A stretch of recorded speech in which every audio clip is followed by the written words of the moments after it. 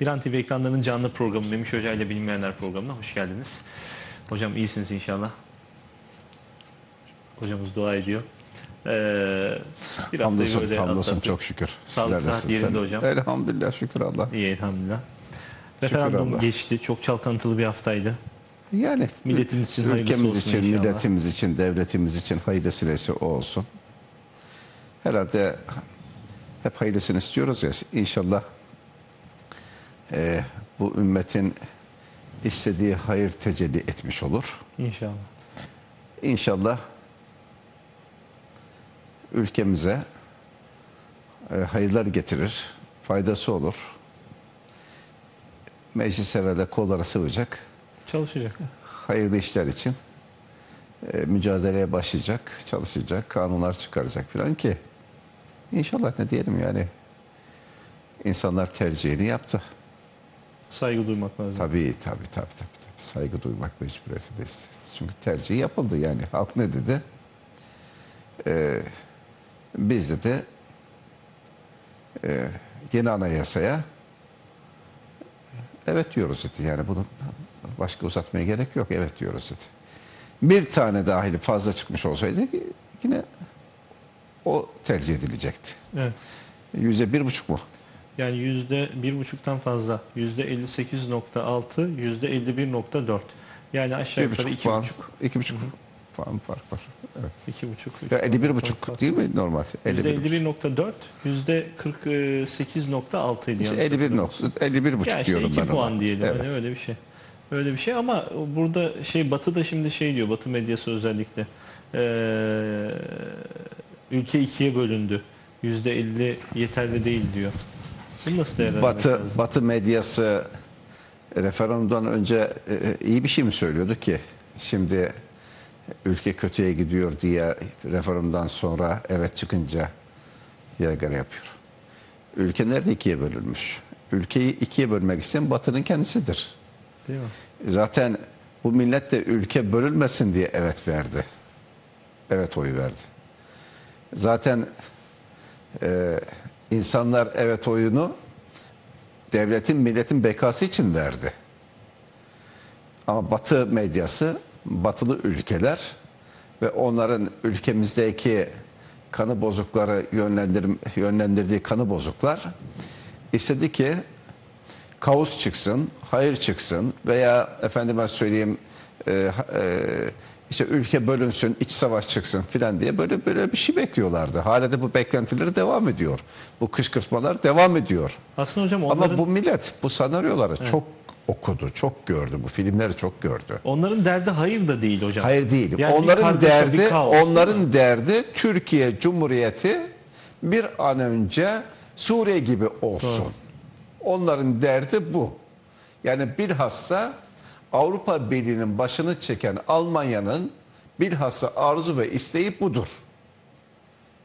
Ve bu Alman devletinin ülkemizde bazı derneklere, vakıflara, istihbaratçılar tarafından vakıflar aracıyla nasıl paralar aktardığını medyadan takip ediyoruz, biliyoruz. E niye para aktarıyor? Niye efendime söyleyeyim e, Türkiye'nin e, teröristlerine destek oluyor alanen? Neden e, PKK'nın destekçisine yanda, e, yandaş yandaş olan gazetecisini bir ay boyunca e, konsoloslukta sakladılar. Hem de konsolosun evinde, rezidansında sakladılar. Evet. Nereden geliyor bu aşk? Ne için? Hangi duyguyla bu destek veriliyor? Ülkemizi bölüp parçalamak için tek kelime. E şimdi Türkiye'nin önünü e, Türkiye'nin e, efendime söyleyeyim e, bölünmesini engelleyen tek şey olarak e, Tayyip Erdoğan'ı görüyorlar. Öyle mi? Doğrudur. Tayyip Erdoğan'ı görüyorlar. Yani Tayyip Erdoğan var olduğu müddetçe efendime söyleyeyim Tayyip Erdoğan onlara göre Türkiye'nin başında olduğu müddetçe biz arzu ve isteklerimizi, hain planlarımızı gerçekleştiremeyeceğiz düşüncesiyle e, Tayyip Erdoğan düşmanlığı yapıyorlar. Hala Almanya'da o Bild denen e, e, gazete, pis gazete, Cumhurbaşkanımıza ve bununla birlikte e, evet veren e, evet veren e, oyu veren e, Türk Vatandaş. milletine ağır hakaretlerde bulunuyor. E buna sessiz kalınır mı? Buna sessiz kalmamız mümkün mü?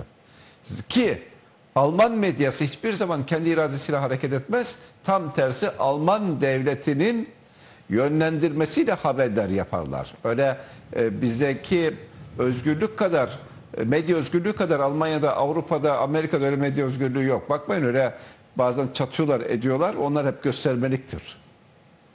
Alman medyası şu anda Alman devletinin kontrolü altında yayın yapıyor. İstihbaratın kontrolü altında yayın yapıyor.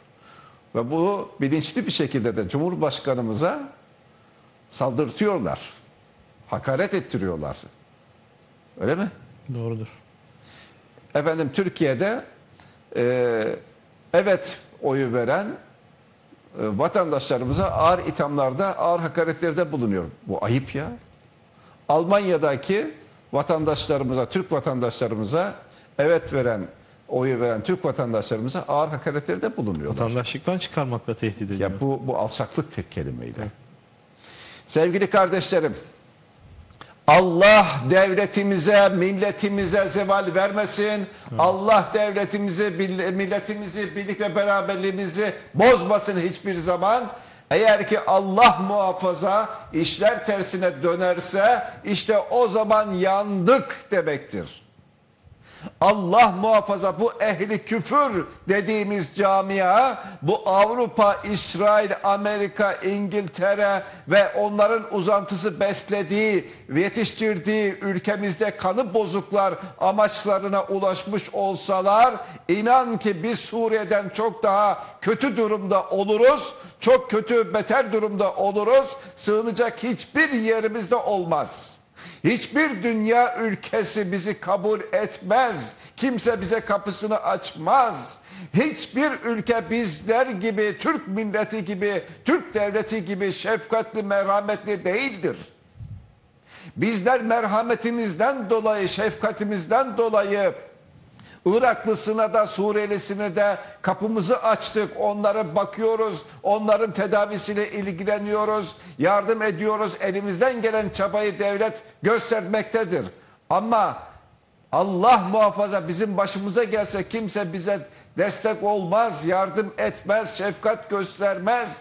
Bundan dolayı diyorum ki bizler hiçbir zaman tahriklere gelmeyelim, oyunlara gelmeyelim. Pis oyunlar oynanmaktadır ülkemiz üzerinde pis oyunlara gelmeyelim diyorum. Diyorum ki illaki ve illaki devletimizin ve milletimizin bekası için çalışalım diyorum. Fitne ve fesatlıklardan uzak kalalım diyorum. Eğer fitne ve fesatlığa gelip bu ülkemizde kaos ortamına kaos ortamına ayak uydurursak aman Allah'ım yandık demektir. Yandık demektir. Düşünün ben açık ve net söylüyorum burada da daha önce de söyledim ben evet vereceğim dedim ve referandumda da evet oyu verdim ben. Bunu açık ve net söylüyorum. Güneş gazetesindeki köşemde de ben bunu defalarca da yazdım ve ilan ettim. Bu benim tercihim. Ne için ben bunu yaptım? Devletimin ve milletimin bekası için ben bu oyu verdim. Bakın düşünün. Referandumdan önce, iki ay öncesinden Avrupa'da ki ülkeler nasıl hayır kampanyası başlattılar ve nasıl hayır kampanyası yürüttüler. Benim Türkiye Cumhuriyeti'nin bakanları Avrupa ülkelerinde vatandaşlarımıza, Türk vatandaşlarımıza bir araya gelip konuşma yaptırmadılar. Ama Avrupa ülkeleri benim bakanlarımı orada konuşturmayan beni, e, Almanya, Hollanda, efendime söyleyeyim İsviçre devletleri PKK'lıları konuşturdu. Onlara destek verdi. Onlara meydana açtı. Hatta ve hatta AKİT denen bir örgüt var. Avrupa Gönük Gözlem Ül- Ülke neydi o? Agit, evet. Avrupa Güvenlik İşbirliği Örgütü. Örgütü. Bu örgüt bu örgüt Türkiye'ye gözlemci gönderiyor. Gönderdiği gözlemcilerden bir tanesi PKK'nın terör örgütü PKK'nın paçavrasıyla poz veriyor. Bu adam gelecek Türkiye'ye gözlemcilik yapacak ondan sonra e, objektif bir şekilde rapor hazırlayacak. Bu mümkün değil. Bunlar alçak, bunlar şerefsiz, bunlar kanı bozuk, Türkiye düşmanlarıdır. Allah bunları kahreylesin.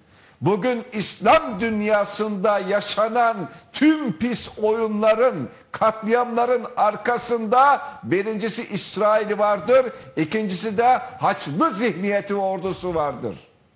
Vatikan vardır. Vatikan'ındaki programı işte Avrupa üstlenmiştir. Milyonlarca insan katlediliyor, Müslüman ölüyor. Bunların katili Avrupa'dır.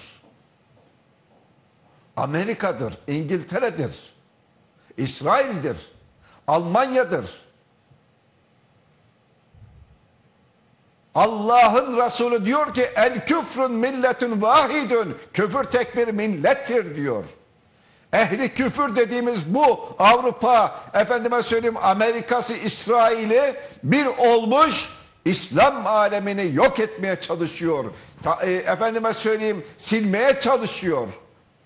Ya biz yine Allah'ın Resulü diyor ki el İslamun milletün vahidun. İslam da tek bir millettir diyor. Ama ne yazık ki biz Müslümanlar biz İslam alemi tek değiliz. Bir değiliz. Birbirimize yakın değiliz. Birbirimizin varlığından rahatsızız. Çünkü o Avrupalıların, o ehli küfrün yaymış olduğu fitne ve fesatlıklardan dolayı birbirimizden uzakız.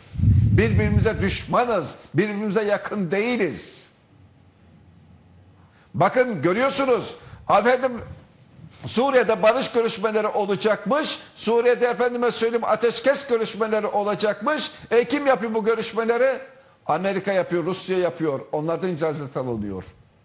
Peki ne oldu bu kadar İslam ülkelerine? Ne oldu bu krallara? Efendime söyleyeyim emirlere ne oldu? Ne iş yaparlar? Peki biz bir Müslüman olarak bir başkalarının şefkatine sığınmak biz Müslümanlara yakışıyor mu? Biz Müslümanlar aramızdaki sıkıntıları, dertleri kendi aramızda halletsek olmaz mıydı? Olmuyor. Bizi bize yakış, yakınlaştırmıyorlar. Öyle mi? Bizi bize yakınlaştırmıyorlar. Çünkü aramıza müthiş bir fitne fesatlık girdi. Aç sefil insanlar. Peki Arap ülkelerindeki krallar bir dondurma yemek için özel uçayla kalkıp İtalya'ya giden Arap kralları, Arap ailesi boğazınızda kalsın. O öyle bir saltanata sahip olan bu Arap aileler, zenginler neden fakir fukara Müslümanlara yardım etmiyorlar soruyorum. Neden? Neden kurşunların, bombaların altında ölen Müslümanlara bu Arap liderler, krallar, emirler, şeyhler, zenginler, milyarderler sahip çıkmıyor? Çıkmazlar. Çıkmazlar. Çünkü hakiki anlamda iman etmemişler de ondan dolayı. Kur'an-ı Kerim diyor ki ey iman edenler iman ediniz. İşte ey iman edenler iman ediniz diyen Kur'an-ı Muhammediye bu zındıklara hitap ediyor bu zındıklara. Bugünkü sözde biz Müslümanlara hitap ediyor. Allah bizleri hakiki anlamda iman etmiş temiz kullarından eyler inşallah. Nereden nereye daldık yine evladım? Hocam az önce dediniz ya işte Agit gözlemcisi. evet bak- al göster. Al, buyurun. Agit'i Buyurun. Avrupa Güvenlik İşbirliği Teşkilatı'nın İşte buyurun. Türkiye'ye Göster evladım. Tabii tabii Türkiye'ye Oktay göster bakayım. Türkiye seçimleri tarafsız bir şekilde gözlemlesin diye gönderdiği adam. Bakın bir tanesi daha var onu da hemen göstereyim hocam. Şu da bugün çıktı. Evet. Yarın gazetelerde göreceksiniz. Bu kişi de e, yine o gözlemcilerden biri Danimarkalı. Yanında gördüğünüz kişi Salih Müslim. Evet. Biliyorsunuz şimdi başımıza bela olan Evet. e, YPG'nin sözde lideri. Yani bu adamların tarafsızlığı, bağımsızlığı. Şimdi bu adamlar burada seçimle alakalı bir şey hazırlayacaklar. Demokratik mi geçti, demokratik geçmedi mi diye. Şimdi bunların güvenilirliği bu kadar. Yavrum biz kendimize çeki düzen vermediğimiz müddetçe, biz kendimizi korumadığımız müddetçe birlik beraberlik içerisinde olmadığımız müddetçe, Allah için birbirimizi sevmediğimiz müddetçe, özgüvenimiz ve inancımız dairesi içerisinde yaşamadığımız müddetçe bizim akıbetimiz iyi olmaz. Efendim Allah bize yardım et. Hadi oradan. Allah sana ne yardım etsin be? Sen Allah'ın verdiği akıl nimetini kullanmazsan Allah sana niye yardım etsin? Sana Allah akıl vermiş işte yardım ediyor zaten. En büyük nimet, en büyük yardım akıl nimetine sahip olman değil mi? Onu kullan. Oyuna gelme. Fesatlığa gelme. Birlik beraberlik içerisinde olmak için çaba göster. Devletinin, milletinin ayakta kalması için mücadele et. Benim bu saydıklarım Kur'an'ın emridir, İslam'ın emridir. E ondan sonra e, ne yapalım takdir ilahi buymuş. Yok öyle bir şey. Kendimizi sağlam alacağız. Bir Müslümana Hristiyan ehli küfür haçlı zihniyetinden medet ummak, şefkat aramak yakışmaz. Yakışmaz. Tek kelimeyle yakışmaz.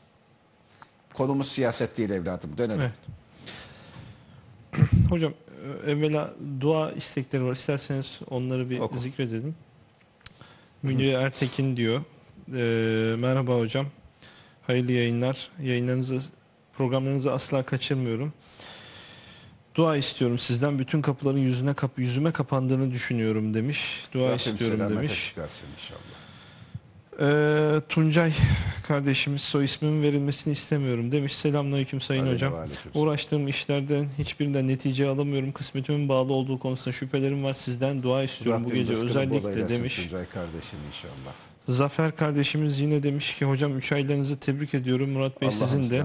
Cenab-ı Hak'tan sizin için sağlık, huzur ve bereket dolu dil- günler diliyorum. Allah'ım Benim için dua eder misiniz? İşlerim rast gitmiyor demiş. Rabbim işlerini rast getirsin. Burcu Hanım aynı şekilde Burcu Sargın selamünaleyküm hocam. Ben dua istiyorum sizden demiş. Muzaffer Çakır selamünaleyküm. Aleyna Bir iş yeri ihalesini almak istiyorum. Bunun için bana dua eder misiniz Nasıl? demiş. Nasıl? Bir iş yeri ihalesi almak istiyorum. Bunun için bana dua eder misiniz demiş. Kim bu? Muzaffer Çakır. Muzaffer Bey hakkınızda hayırlısıysa inşallah e, o iş size hayır getirecekse Allah'ım tez zamanda size nasip eylesin. Rabbim helalinden rızkınızı daimi kılsın inşallah. Evet. Sadık Genç demiş. İyi akşamlar hocam. Programınızı kanal değiştirirken tesadüfen gördüm. Müptelası oldum. Aşağı razı yukarı iki aydır da devamlı izliyorum. Allah'ım size razı olsun. Sizden dua istiyorum demiş. Allah'ım hıfzıyla muhafaza eylesin inşallah. Doğan Rabbim Üzüm dünyanızda ahiretinizde güzel eylesin inşallah. Rabbim şerlerden korusun inşallah. Şeylerin şerrinden korusun inşallah. Evet. Doğan Üzüm isimli kardeşimiz. Selamünaleyküm Murat Bey. Bunu iletirseniz Memiş hocama sevinirim demiş. Validem göğüs kanserine yakalandı. Kemoterapi görüyor. versin. Ya ya ya. 3 ayların yüzü suyu hürmetine sizden dua istiyorum demiş. Güzel kardeşim çok dua edeceğim bu akşam. Hepinize dua edeceğim. Bu akşam inşallah programdan sonra daha yas yıkılmadım. Yas yıkıldıktan sonra tesbihata oturacağım. Ve hepinize dua edeceğim. Rabbim yeter ki dualarımızı dergah izzetine kabul etsin. Biraz önce burada bir kardeşimiz var bizim e, yukarıda. Onun da babası Ali Altan Batı, e, Batırel e, babası. Onun da aynı dertte e, derdi var, sıkıntısı var. Yoğun bakımdaymış. Rabbim ona da tez zamanda şifalar ihsan eylesin. E, kolay değil. Baba olunca, ana olunca, evlat olunca derler ya akan sular duruyor. Evet. Ya ya ya kolay değil, kolay değil. Allah'ım hepinize, bütün hastalara şifalar ihsan eylesin. Güzel kardeşim annene benden çok selam söyle. Ona şifalar diliyorum. Bu akşam tesbihatla birlikte inşallah dua edeceğim. Hepiniz edeceğim. Hepiniz edeceğim. Benden şu anda kim dua istemişse, kim dua arzu et, arzulamışsa hepinize dua edeceğim inşallah. Evet. Şimdi Osman soy ismini vermeyeceğim. Belki çalıştığı firmayla sorun yaşayabilir. Osman isimli bir kardeşimiz diyor ki hocam hani bu bazı uluslararası firmalar vardır. Elle çantayla Türkiye'de bir şey sattırırlar. Böyle kozmetik, parfüm buna benzer şeyleri sattırırlar. Bazı mevlalar karşılığında. Bundan da promosyon şey alır karşı taraf. Diyor ki Osman kardeşimiz ee, bu uluslararası firmaların birinde çalışıyorum. Bir malzemeyi biz de satıyoruz bu şekilde. Ancak bu malzemenin hiçbir şart altında işe yaradığını düşünmüyorum. Bu işi yaptıkça gelir gelir olarak bunlardan bir kazanç elde ediyorum. Ancak vicdanım rahat değil. Hocam dinen bunun hükmü nedir diyor. Sevgili Osman kardeşim, eğer ki satmış olduğun ürün sahte ise veya sahtekarlığa yol açıyorsa, efendime söyleyeyim, e, dalavere bir ürünse, insanları kandırıyorsan bu satışta, o satıştan elde etmiş olduğun para kesinlikle haramdır. Bir an önce hem vicdanının rahat etmesi için hem de hem de insanları kandırmamak için helal rızk kazanabilmek için o işi bırak. O işi bir an önce bırak, tertemiz ol ve temiz bir şekilde helalinden rızkını aramaya devam et. Şimdi diyelim ki benim elimde e, iPad var. Görünümde iPad. Öyle mi? Görünümde bu. iPad. Ama içerisinde işlevine baktığımız zaman bildiğimiz iPad'ler gibi değil.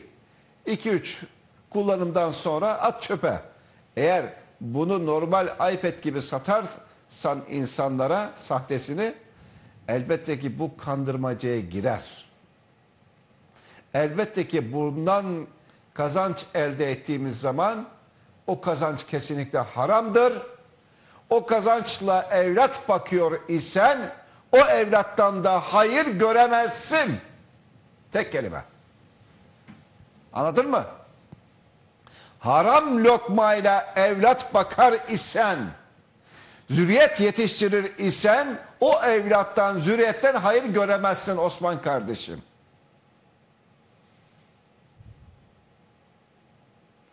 yalan yollarla para kazanmak caiz değildir. Bugün arabaya binerken bir yerde bir taksiden delikanlı indi koşarak benim yanıma geldi. Hocam dedi bana bir el sürer misin? Hayırdır evladım ne el süreyim sana dedim. Hocam ne olur dedi çok arzuluyorum çok istiyorum dedi bana bir el sür dedi.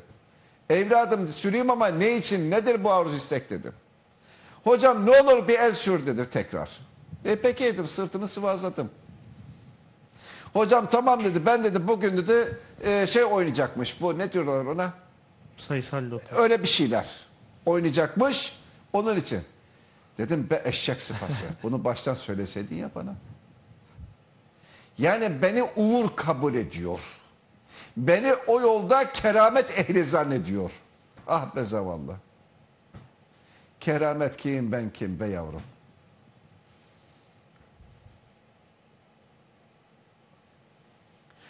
Eğer ki bir insan çoluğunun çocuğunun rızkını lotuda totuda neyse sayısalda bilmem nelerde harcıyorsa o insan da mahşer gününde evlatlarına hesap verecek. İşin bu tarafı da var.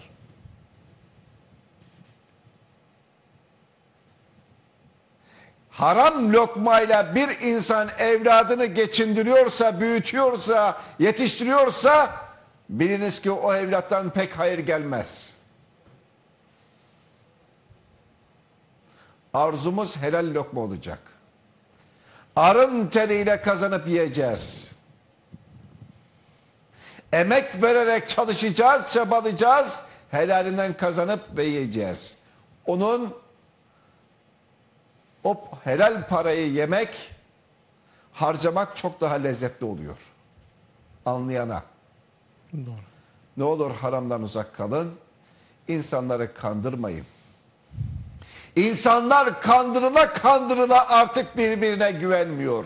İşte güvensizlik ortamı da bu şekilde var oldu. Zaman zaman sosyal hayatımızda duyuyoruz değil mi? Neden? Ya ben ona güvenmiyorum. Ya ben buna güven, ben ona yola çıkmam. Ve bu şey hep güvenilmez bir insan topluluğu olduk. Eskiden öyle miydi? Bundan 40 sene önce böyle miydi?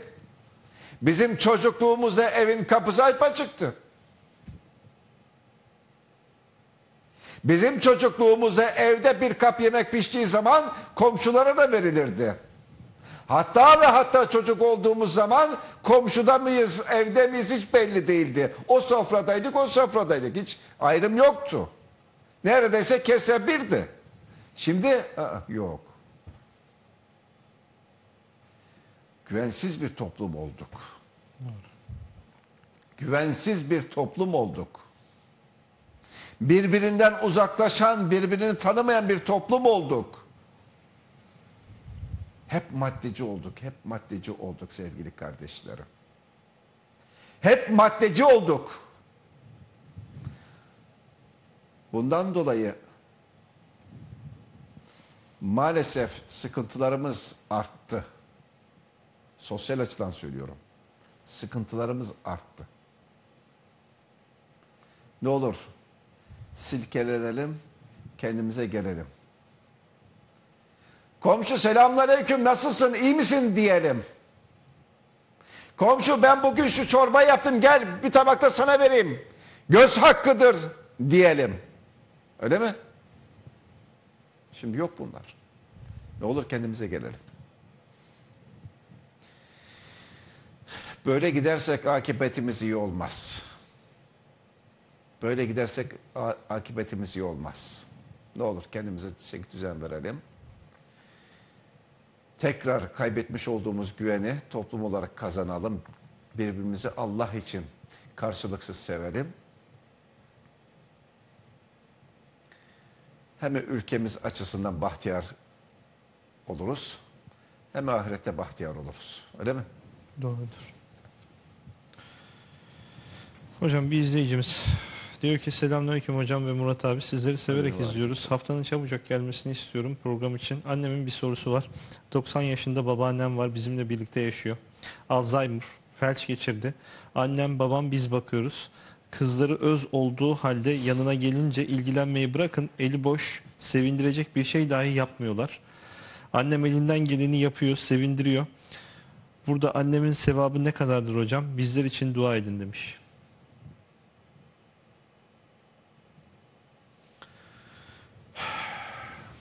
Bu nasip meselesi. Bir insanın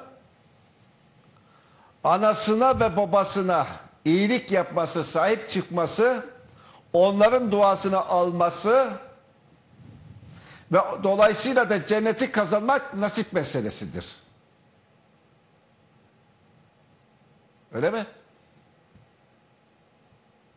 Hemen hemen her hafta ana baba konusuna parmak basıyorum öyle mi? Burada konu hemen hemen geçiyor her hafta. Öyle mi? Doğru. Ben anama babama çok düşkünüm. Hatırlarsanız iki hafta önce anamın rahatsızlığından bahsetmiştim. Allah'ım sizlerden razı olsun. Çok mail attınız. Geçmiş olsun dediniz. Dua ediyoruz hocam dediniz. Allah'ım sizden razı olsun. İşte o duaların bereketiyle anam yoğun bakımdan çıktı. Şu anda dün taburcu oldu ve eve geldi. Ana bambaşka, baba bambaşka, evlat bambaşka. Biraz önce söyledim. Çok defalarda söylediğim gibi bir insan anasının ve babasının duasını alırsa cenneti garantilemiştir. Bir insan eğer ki anne ve babasını bir başkalarına muhtaç ediyor ise o insan bilsin ki mahşer gününde boynu bükük kalacak. Evet, şu anda annesine bakan bu kardeşimiz, öyle mi? Bilsin ki cenneti kesin garantiledi.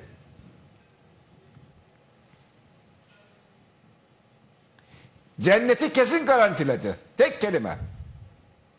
Bilsin ki mahşer gününde kimilerin boynu bükük kaldığı, kalırken bu hanımefendinin kafası dik olacak.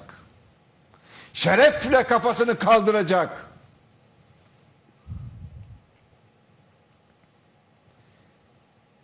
Amma ve lakin göstermelik anasının babasının yanında gözüken evlatlar da var ki biliyorum benim yakınımda da var.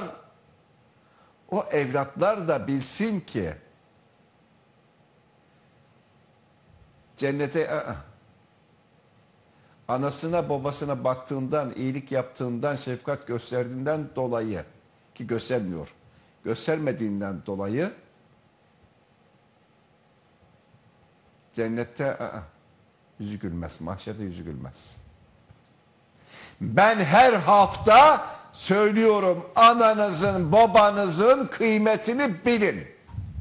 Her hafta söylüyorum ananızın, babanızın kıymetini bilin, onlara sahip çıkın, onlara oh demeyin ve cenneti garanti edin diyorum. Peygamber aleyhissalatü vesselam Efendimiz'e sahabeden bir tanesi geldi. Ey Allah'ın Resulü bana nasihatta bulunur musun dedi. Bir tavsiyede bulunur musun dedi.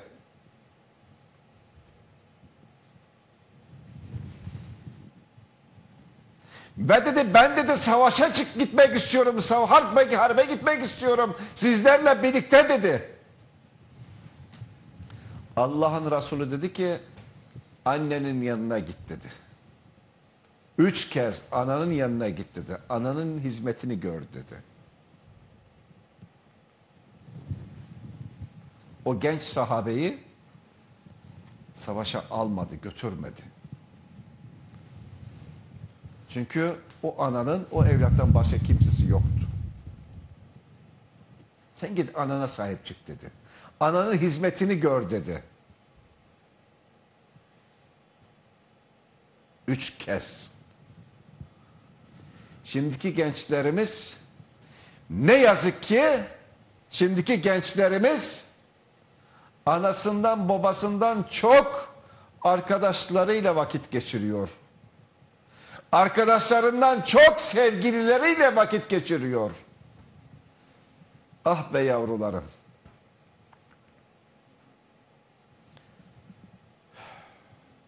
Başınıza bir hal gelse Allah muhafaza gelmesin de diyelim ki geldi. Acaba size koşacak olan ananız babanız mı yoksa sevgiliniz arkadaşınız mı? Anadan babadan başka yar yok güzel kardeşler. Anadan babadan başka yar yok. Ananızın babanızın kıymetini bilin. Evet. Sait Özkanlı. Hocam selamünaleyküm. Aleyküm 29 aleyküm. yaşındayım. Ailem beni evlendirmek istiyor. Evlenecek maddi yeterliliğim var. Fakat izdivaç için cinsel açıdan bazı sorunlarım var diyor. Psikolojim bozuldu. Ne yapabilirim? Selametle diyor. kendisini sağlıklı hissetmiyorsa bu güzel kardeşim, evliliğe hazır hissetmiyorsa, cinsel açıdan da sıkıntısı varsa hiç boşuna bir başkasının vebaline girmesin ve evlenmesin.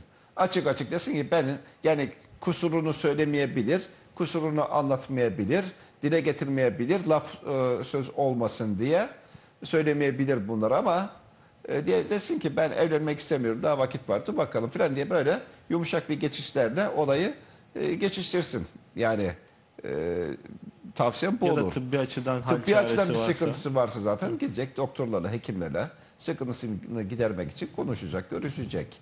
Ama şu anki güzel kardeşim sıkıntın sıkıntın e, devam ediyorsa e, bir başka e, e, yani bir başkasının şeyini hayatını karartma. Yani değil mi? Tabii onu da sıkıntıya dahil etmenin bir şimdi anlamı yok. Onu söylemek istediğim bir şey var da onu söylemeyeyim burada mahrem bir konu. Evet. E, mahrem söylem olmasın diye. E, cinsel açıdan kendinde bir erkeklik olarak bir güçsüzlük hissediyorsan e, tabii ki e, birisiyle evleneceksin. Onun da arzu ve istekleri olacak. Öyle mi? E, Onun arzu ve isteklerine cevap vereme- veremeyecek bir durumun var ise sakın evlenme. Daha açık, buna daha açık bir şey söyleyemem. Aynen. Değil mi? Evet.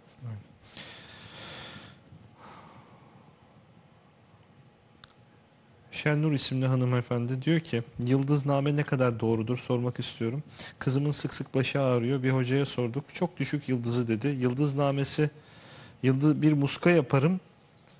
Ee, baş ağrıları geçer dedi. Bizden yüklü miktarda para istedi. Ne kadar doğrudur hocam diyor. Evladım, güzel kardeşlerim, Yıldızname diye bir şey yok. Yıldızname denilen kitap bugünkü bugünkü tarotun e, Alaturkasıdır. Yani birileri çıkmış ben hocayım diye piyasaya çıkmış. Diyor ki efendime söyleyeyim ben sizin diyor gelin geçmişinize geleceğinize bakayım diyor. Öyle mi? Öyle diyorlar. Evet. Sen baktırdın mı?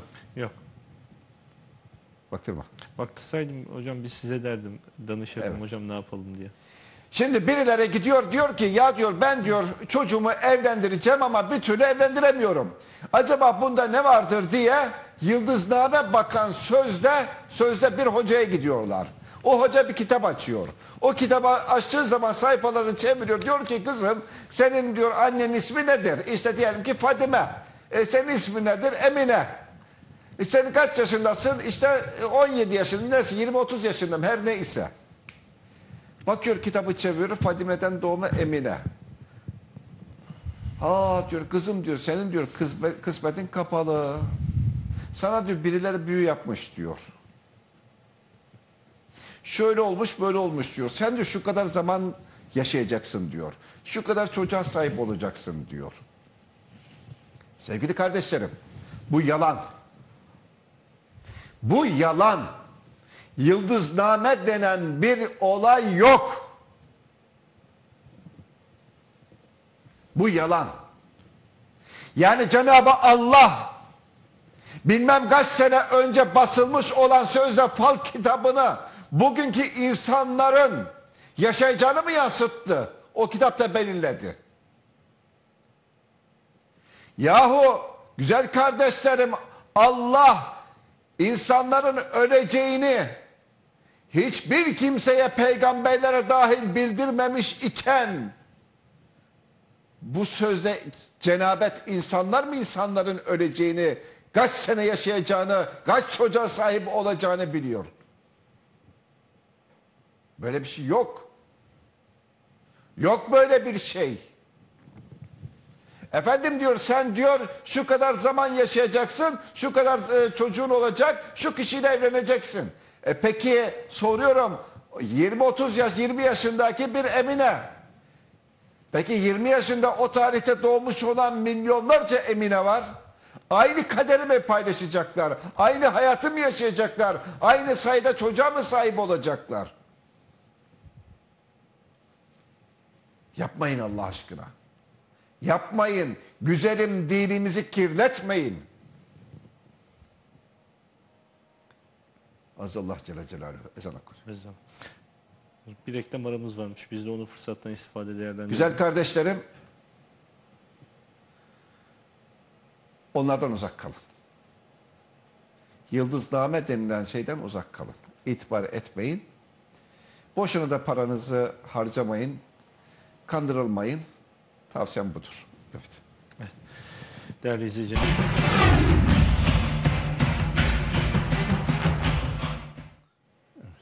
Evet, hoş geldiniz tekrar. Ee, hocam tekrar devam edelim istiyorsanız kaldığımız Şimdi yerden. şurada bir mail var dikkatimi çekti. Buyurun. Diyor ki hocam diyor e, eşim diyor çok o e, her gün diyor hemen hemen diyor o sayısal denilen kumardan oynuyor diyor. Ben diyor e, işte evin ihtiyacı var bana para ver dediğim zaman diyor Para yok. e, para yok diyor ve beni diyor küfür ederek diyor dövüyor diyor. Bununla birlikte diyor ki hocam diyor e, benim diyor bileziğimi almış benden habersiz diyor. Ee, satmış diyor. Ee, belli ki diyor şeyden diyor e, sen söyle. Ee, o kumarda harcadı diyor. Şimdi biraz vicdan olması gerekiyor. Sevgili kardeşim, sende nasıl bir vicdan var ki, nasıl bir ahlak var ki? Nasıl bir ruh ve karakter var ki?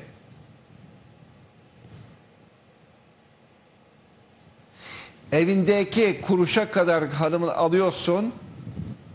Bir de utanmadan hanımının bileziklerini çalıyorsun. Gidip kumar oynuyorsun. Evinin ihtiyacını da karşılamıyorsun. Hanımın para istediği zaman şu şu eksik var dediği zaman hanımına dönüp küfür edip tokat atıyorsun. Sende nasıl bir ahlak var be kardeşim? Nasıl bir insansın sen ya? Hemen bir an önce tedavi ol.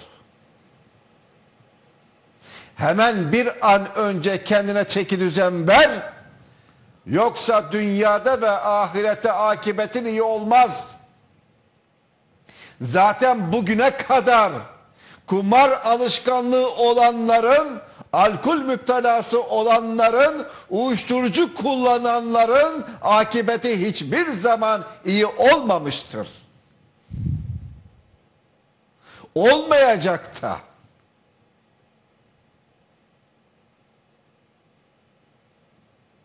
Yazık günahtır ya. Yazık günahtır. Nasıl bir ruh, nasıl bir hastalık bu ya? Bir an önce devlete sesleniyorum, hükümete sesleniyorum. Şu kumarhaneler kapansın. Bu at yarışları, beygir yarışları, eşek yarışları, totular, lotular kapansın külliyen. Ocaklar sönüyor, ocaklar. Bir an önce kapansın. Yazık günah ya.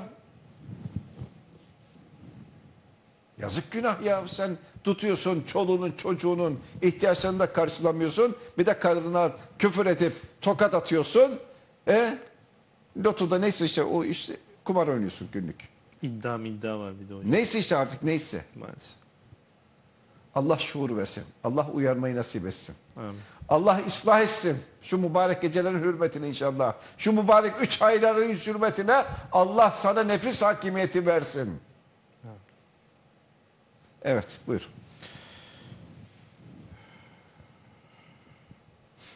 Deniz Feyzoğlu diyor ki Selamünaleyküm sorum şu Gördüğümüz iyi ya da kötü rüyayı başkasıyla paylaşmak doğru mudur? Şimdi bir insan eğer ki yatmadan önce ayet-el kürsü okumuş ise abdestli yatmış ise o kişinin gördüğü rüya aynen doğrudur ve zuhur eder. Çünkü Peygamber aleyhissalatü vesselam Efendimiz abdestli ve ayet-el kürsüyü okuyarak yatan insan gece rüyasında gece rüya gördüğünde o rüya doğrudur çünkü diyor. Şeytan o kişiyi rüya göreni kesinlikle e, e, rüyasına girmez ve kandırmaz diyor Peygamber Efendimiz. Lakin rüya gördüğümüz zaman evet herkese anlatılmamalıdır. Bilhassa güzel görmüş olduğunuz rüyaları herkese anlatmayın.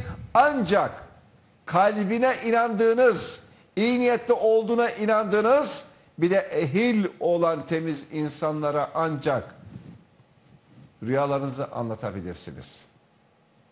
Rüyanızın cevabını alabilmek için de mutlaka ama mutlaka yine tabirciyi bulduğunuz zaman rüya tabircisinin de temizini bulup ona anlatın. Art niyetli, ayyamcı, şarapçı tipli insanlara rüya anlatılmaz, anlatılmamalı da. Şimdi bazı tipler var, ayyamcı bir tip. Efendime söyleyeyim piyasada dolaşıyor, ben rüya tabiri yaparım. Hadi oradan seni gidi, cenabet seni. Tayrat almasını bilmezsin. Tutacaksın. Rüya tabir ediyorsun, edeceksin. Yok öyle bir şey. Bu işler ciddi iştir. Rüya tabiri etmek bir ilimdir. Rüyayı tabir edecek olan insanların da doğru olması gerekiyor. Doğru sözlü, temiz yaşaması gerekiyor. Güzel amel üzerine yaşaması gerekiyor. Peygamber aleyhissalatü vesselam Efendimiz rüya gördüğü zaman sahabenin içerisine giriyor ve diyor ki aranızda doğru sözlü kimse diyor benim diyor şu rüyamı tabir etsin diyor. İlla ki doğru sözlü olmalıyız. Herkese rüya anlatılmaz. Temiz olan insanlara rüya anlatılır. Eğer biliyorsa anlattığınız kişi tabir edebilir. Şimdi bazı kimselerden böyle gelişi güzel yatıp uyuyan insanlar da böyle rüyalar görür mutlaka. Bunların görmüş olduğu rüya aynen gördüğü gibi çıkacak diye bir şey söz konusu değil. Çünkü ister istemez şeytan belki onu rüyasına kandırmış olabilir. Ama belki de o rüya aynen zuhur eder ve çıkar. En çok da temiz kalpli olan insanların rüyası çıkar. En çok da hisleri kuvvetli olan insanların rüyası çıkar. Ama benim rüyam çıktı. Ertesi gün tekrar rüya görünce bak bu da çıkacak. O, onun garantisi yok. Onun garantisi yok. Her gördüğünüz rüyanın tabiri aynen zuhur e, etmez. Bunu söylerim. Heh, dinliyorum. Deniz Oda. Selamünaleyküm hocam. Hayırlı Hayırlı akşamlar. Ölüm anında vefat eden kişinin yaşadıkları nelerdir hocam diyor. Yani ölen kişi neler yaşar ebedi aleme geçerken. Evet. Şimdi burada bir kardeşimiz Karadeniz şeyle göndermiş. Selamünaleyküm kıymetli hocam ellerinizden öperim. Önce Rabbimin izniyle, son, izniyle sonra sizin sayenizde ekmek yiyorum. Rabbim sizden ve sizin sevdiklerinizi korusun diyor. Siz ve sizin sevdiklerinizi korusun. Allah razı olsun. Kim olduğunu bilmiyorum güzel kardeşim ama Allah'ım senden razı olsun. Dua duaların için teşekkür ediyorum. Evet. Deniz Oda Evet. diyor ki öldükten sonra vefat eden kişi neler yaşar? Hangi aşamalardan geçer? Vefat eden insan. Güzel kardeşim, vaktimiz var mı? Kaç dakikamız var? Oktay, 20, dakika mı var? Yeter hocam. Daha. Cenab-ı Allah Küllün nefsün zaikatül mevt der. Her nefis ölümü tadacaktır der. İnsanlar o son ana, ölüm anına o yola girdiğinde eğer yatalaksa veya hastaysa o yola girdiyse o ana yaklaştıysa mutlaka ama mutlaka gidecek olduğu yere görür. Eğer ki o insan cennet ehli ise mutlaka ama mutlaka cenneti gideceği yeri görür. Ama cehennem ehli günahkar bir kul ise o da mutlaka ilk gideceği yer cehennem gibi olan kabirdeki yerini görür ve öyle ruhunu teslim eder ki Cenab-ı Allah şu mübarek üç ayların yüzüstü hürmetine bizleri cennet ehli kullarından eylesin. Ondan sonra ne olur? Artık dönüş olmayan bir yol. Azrail aleyhisselam temiz olan, Müslüman olan, temiz yaşamış olan bir müminin canını tereyağdan kıl çeker gibi alır. İncitmeden, acıtmadan, azap vermeden o mümin olan, temiz olan kulun ruhunu alır. Ama günahkar olan hayatı boyunca insanlara işkence yaparak e, geçmiş olan insanlara zulmetmiş olan, anasına babasına zulmetmiş olan, evlatlarına karısına zulmetmiş olan, insanların canını ise öyle bir alacak ki, öyle bir alacak ki ilim ilim inleterek büyük bir azap içerisinde o kişinin canına Azrail aleyhisselam alacak. Peki hocam ne olacak sonra? Hoca efendiler geldi. Eş dost geldi. Nasıl bilirsiniz dedi. Kimisi iyi biliriz dedi. Kimisi Allah bilir dedi.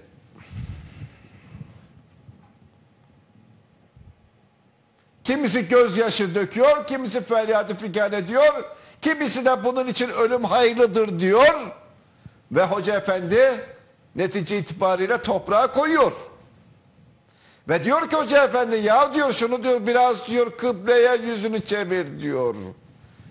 Belki de ömrü boyunca yüzünü kıbleye çevirmedi o kişi. Ama sen çevir diyor.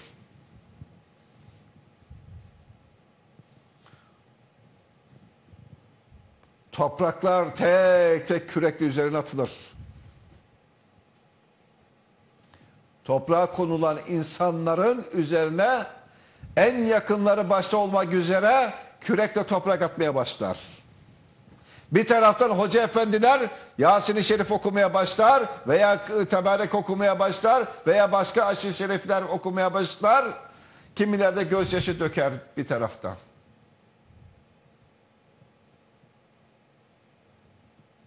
İşte ondan sonra işte ondan sonra neler yaşayacak biliyor musunuz? Gelecek sorgu sual melekleri. Ey filanca anlat bakalım. Şimdi gerçekle karşı karşıyasın. Hak ve hakikatları şimdi gördün. Söyle bakalım senin Rabbin kimdir?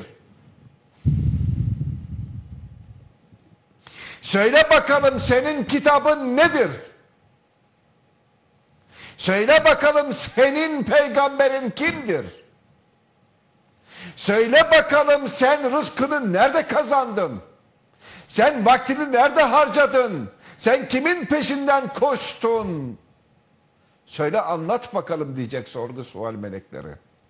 Eğer ki sorgu sual melekleri bu, bu soruların karşılığında cevabı ınk bınk böyle almaya çalışırsa o kişiden öyle bir sırtına vuracak ki o sorgu sual melekleri o kişiye cevap veremeyen bu soruların cevabını veremeyen o kişinin sırtına öyle bir vuracak ki sorgu suali melekleri direkt bir uçurumdan mahşer gününe kadar orada azap göreceği cehennem gibi yere düşecek. Allah'ım bizi o mahcubiyetten, o halden uzak eylesin, bizlere yaşatmasın. Allah'ım bizlere Rabbimiz Allah'tır demeyi, kitabımız Kur'an-ı Kerim'dir demeyi, peygamberimiz Hazreti Muhammed'dir demeyi, rızkımızı helal yoldan kazandık demeyi, biz Allah yolunda koştuk gezdik demeyi, senin sevdiklerinin peşinden yürüdük gittik demeyi bizlere nasip eylesin inşallah. Ama bu sorulara cevap verenler gel diyecekler gel sen yiğitsin.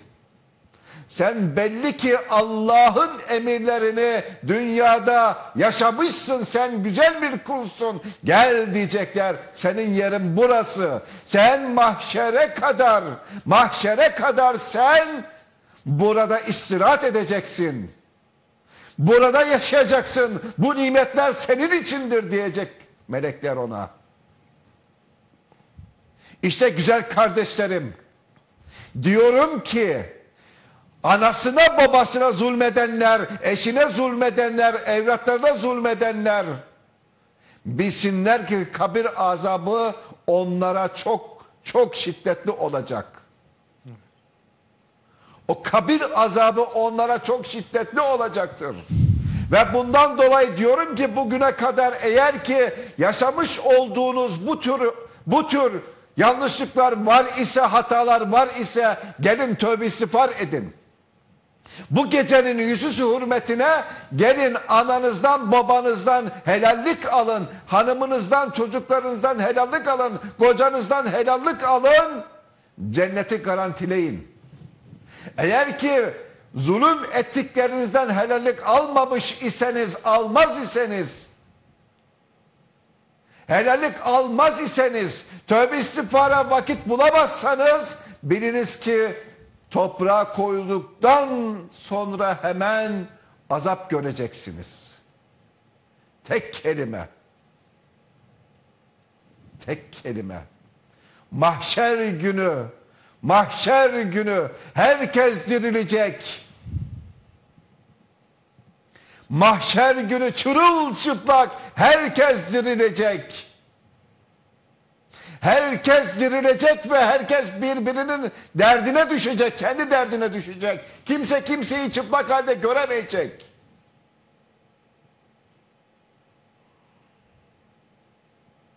Herkes dünyada yapmış olduklarını neyse hepsini mahşer günü televizyon ekranı gibi karşısında görecek. Aa ben bunu yapmamışım deme şansın yok yapmışsın. Keramen katibin melekleri not etmiş kaydetmiş işte ispatı. Ve diyorum ki mahşer günü boynumuz bükük olmaması için mahşer günü mahcubiyet yaşamamamız için mahşer günü sırattan geçebilmek için mutlaka ama mutlaka evlatlarınıza ananıza, babanıza, eşlerinize kıymet verin. İnsanlara kıymet verin. İnsanlara Allah rızası için sevin. Hiçbir zaman insanları severken din, dil, ırk ayrımı yapmayın. Millet ayrımı yapmayın. Cenab-ı Allah hepimizi yoktan var ettiği için birbirimizi severim güzel kardeşlerim. Ben buraya geldiğim zaman bütün arkadaşlarım, kameramanları, yönetmeni her ne ise Hepsini öpüyorum, kokluyorum, seviyorum, mıncıklıyorum. Çünkü bunları hepimizi Cenab-ı Allah severek yarattı, var etti. Bizler biraz önce por, e, reklamlardan önce söylemiştim. Maddeye tabi olduk, madde dünyasına daldık, değerlerimizi kaybettik. Milli ve manevi duygularımızı kaybettik. Kültürümüzü kaybettik. Örf adetlerimizi kaybettik. Ve bugünkü durumlara geldik. Ruhsuz bir hal aldık. Birbirimizden haberdar değiliz artık. Var mıyız yok muyuz belli değil artık. Komşu birbirini tanımıyor. Evlat ana birbirini kıskanıyor. Kardeşler birbirini kıskanıyor. Böyle bir dünya olmaz. Böyle bir Müslümanlık olmaz. Böyle bir insanlık olmaz güzel kardeşlerim. Ölüm var, ölüm. Gerçek var, hak var, hakikat var. İllaki ve illaki kendimize çeki düzen vereceğiz. Eğer ki kendimize çeki düzen verirsek şu andan itibaren şu üç ayların üçü hürmetine inanın bahtiyar olacağız mahşer günü. İşte önümüzdeki pazar akşamı Miraç kandili. Miraç kandili. Ne olur şu mübarek geceyi en güzel şekilde yaşayalım. Bolca namaz kılalım, ibadet yapalım. Allah'ın Resulü hangi hallerde miraca yedi kat semaya çıkmıştır ve semaya çıkarken kimlerle görüşmüştür? Hangi peygamberlerle selamlaşmıştır? Ve hangi olaylarla karşılaşmıştır? Neler görmüştür? Bunları bir düşünün. Bunları bir düşünün. Miraç gecesini mutlaka ama mutlaka dolu dolu yaşayalım. Şimdiden gençlerimiz bilhassa gençlerimiz bilhassa yeni evli olan gençlerimiz yavrularım yapmayın. Şimdiden yaptınız tatil planlarını yapıyorsunuz duyuyorum. Zaman zaman bu sohbetler benim yanımda da oluyor. Yapmayın. Önce ananızı babanızı ziyaret edin. Hayatta değillerse kabilelerini ziyaret edin. Akrabalarınızı ziyaret edin. Ondan sonra elbette ki tatil hakkınızdır. Gidin tatilinizi yapın. Bana diyorlar ki hocam iki yakan bir araya gelmiyor. Kazancımın bereketini görmüyorum. İşlerim ters gidiyor. Dua edin diyorlar. Evet Allah rızası için ben sizlere dua ediyorum. Gönülden dua ediyorum. Biliniz ki benim 24 saatin hemen hemen 20 saati zikirle, dua ile, tesbihatla geçiyor. Ve bu dua bütün ümmeti Muhammed içindir. Yalnız sizlerin işlerinin düzelmesi için, bereketli olmanız için, rızkınızın bollaşması için mutlaka ama mutlaka akrabalarınızı ziyaret edin. Akrabalarınızı ziyaret edin, silah-ı rahim yapın. Eğer ki akrabalarınızı ziyaret ederseniz, silah-ı rahim yaparsanız, biliniz ki güzel kardeşlerim, bereketli olacaksınız. Allah sizi uzun ömürlü kılacaktır. Bereketli kılacaktır. Ne olur yapın.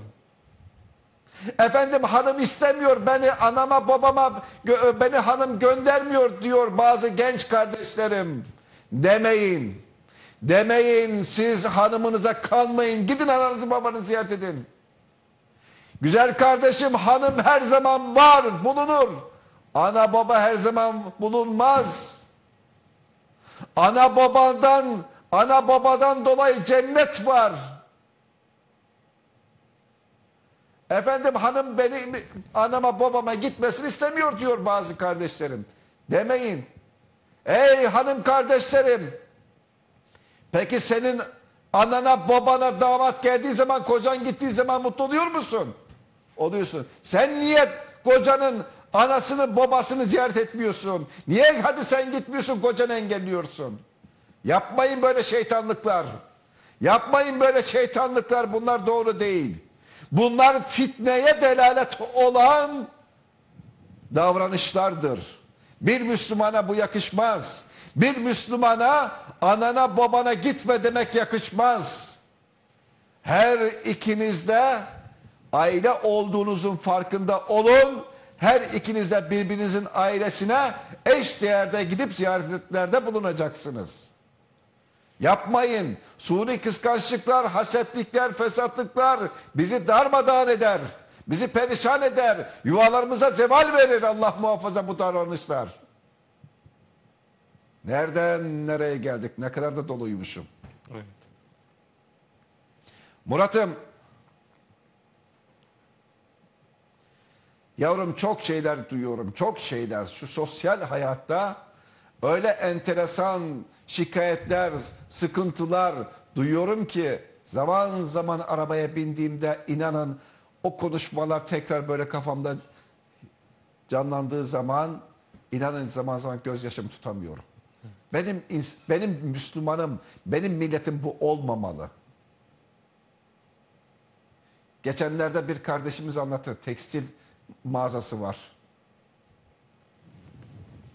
Hanımı demiş ki eğer sen annemlerin yanında şu evi bana almazsan ben kesinlikle senden boşanıyorum demiş. Arkadaş diyor ki hocam param yok diyor yok. Olsa alacağım diyor. Hemen boşasın hocam. Ya böyle bir şey var mı? Böyle bir tehdit olur mu? Bu nasıl bir ahmak, ahmaklık? Bu nasıl bir ahmaklık? Böyle bir böyle bir şart olur mu? Böyle bir tehdit olur mu? Anamın yanında bana ev alacaksın yoksa ben seni boşarım. Ya adam ne yapsın? Banka mı soysun? Hırsızlık mı yapsın? Eşkıyalık mı yapsın? Kötü yollara mı düşsün? Ne yapsın? Yok. Yapmayın bunu. Yapmayın bunu. Yapmayın. Allah aşkına yapmayın. Kendimize çelikli düzen verelim. Sonra diyoruz ki ya bu Müslümanlar bu ümmet niye bu hale geldi? İşte ahlaksızlığımızdan dolayı bu hallere düştük. Öyle mi Murat? Doğru hocam. Bizim ahlaki yapımız düzgün olsaydı Biz Müslümanlar gerçekten Kur'an-ı Kerim'i Allah'ın Resulü'nün hadis ve sünnetini hayatımızda tatbik etmiş olsa idik bu kadar Müslümanlar her gün katliamda ölür müydü? Bu kadar Müslümanlar sözde birbirini katleder miydi? Birbirimizin varlığından rahatsız olur muyduk? Birbirimize karşı duyarsız olur muyduk? Olmazdık. E demek ki inancımızda ve ahlakımızda bir sıkıntı var. Hocam bu kadar net mi söylüyorsun? Evet. Ben düz konuşan adamım. Belki şu anda benim bu konuşmamdan dolayı bu halleri yaşayanlar üzülüyordur, alınıyordur. Umurumda değil. Üzülüyorsan, alınıyorsan tövbe istiğfara gel, kendine çeki düzen ver o zaman. Ben kimsenin nefsine göre konuşacak, kimsenin nabzına göre konuşacak adam değilim. Bazı hocalar var. Ekranlarda insanların duymak istediğini söylüyor. Ben onlardan değilim. Benim üç kuruşluk aklım var. O aklımı sizlerle paylaşıyorum. Alabildiğinizi alın. Alamadığınızı bir kenara atın. Öyle mi? Bitti. Allah razı olsun. Kaç dakikamız var? Hocam iki dakikamız var. Güzel kardeşlerim. Biraz önce söyledim. Pazar günü Miraç Kandili. 23'ü pazara mı geliyor? 23 nasipse evet. Ne olur? Hele pazar. Ananızı, babanızı gidin ziyaret edin. Onlarla bir güzel kandil yaşayın. Camilere gidin. Bolca namaz kılın. Beş vakit namaz Allah'ın Resulü Miraç'tan indikten sonra farz kılınmıştır. O yüzden diyorum ki namaz kılın bolca. Bolca namaz kılın, tövbe istiğfar edin ve geceyi fırsat bilerek kendimize çeki düzen verelim. Beş vakit namazımızı da ömrü boyunca artık bırakmayalım, devam ettirelim. Bu bir. iki. Herkesin duaya ihtiyacı var. Hepimiz birbirimize samimi duygular içerisinde dua edelim. Sizler diyorsunuz ki hocam bize dua edin. Ben ediyorum. Emin olun ediyorum. Bu gece şu anda bile yas namazını kılacağım, oturacağım, tesbihatımı yapacağım ve sizlere sabah namazına kadar dua da edeceğim, tesbihat yapacağım. Benim gece bütün ders hep böyle hayatım böyledir. 35 senedir. Sizler de bana dua edin. Murat kardeşime dua edin. Birbirinize dua edin. Duanın makbul olanı karşılıksız böyle gıyaben yapılan dualardır. Ya Rabbi bu gecenin hürmetine bizlere Kur'an-ı Muhammediye'yi Hazreti Peygamberimizin hadis ve sünnetini yaşamayı nasip eyle. Ya Rabbi bu gecenin hürmetine bizleri izleyen kardeşlerimizin dertlerine derman eyle. Derman ol ya Rabbi. Rızklarını bol eyle ya Rab. Her ne sıkıntıları varsa hepsinde selamete çıkar ya Rab. Bu dünyada ve ahirette yüzü gülenlerden bizlere eyle ya Rab. Bu dünyada ve ahirete mahcup olacağımız hal ve hareketlerden bizleri muhafaza eyle ya Rab. Bizleri cennet ehli kullarından eyle ya Rab. Bizleri azaptan, cehennemden uzak eyle ya Rab bize cümlemize anasının babasının duasını almış olanlardan eyle ya Rab. Hepinize hayırlı geceler diliyorum. Allah'a emanet olun. Hocamın duasının üstüne sözünün üstüne söz söylemek olmaz diyorum. Yayında yapımda emeği geçen arkadaşlarım adına teşekkür ediyorum. Haftaya aynı saatte burada ekran başında olun.